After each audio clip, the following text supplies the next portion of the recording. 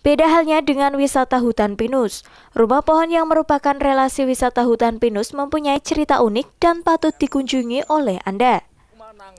Rumah pohon didirikan atas ide sebagian pemuda desa Gunung Sari yang ingin merealisasikan potensi nilai ekonomi desa dengan cara menekuni kafe bernuansa alam.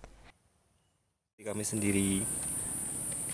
Jadi kalau orang mau ngopi doang kan boring gitu kan mas. Hmm jadi lebih baik ada fasilitas seperti ini toh tempatnya mendukung kan jadinya orang tuh nggak jenuh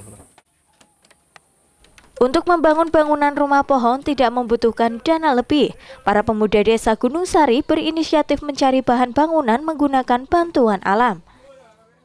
Karena kan barang udah ada di sini hmm. kayak seperti ini kan bambunya juga aslinya juga dari sini kan.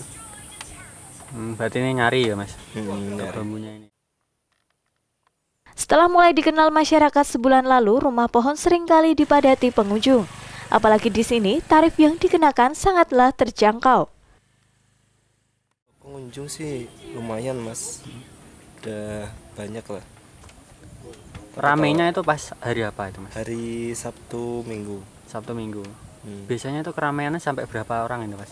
Kalau pas ramai ramai itu bisa mencapai 100 orang lebih sih 100 orang lebih ya?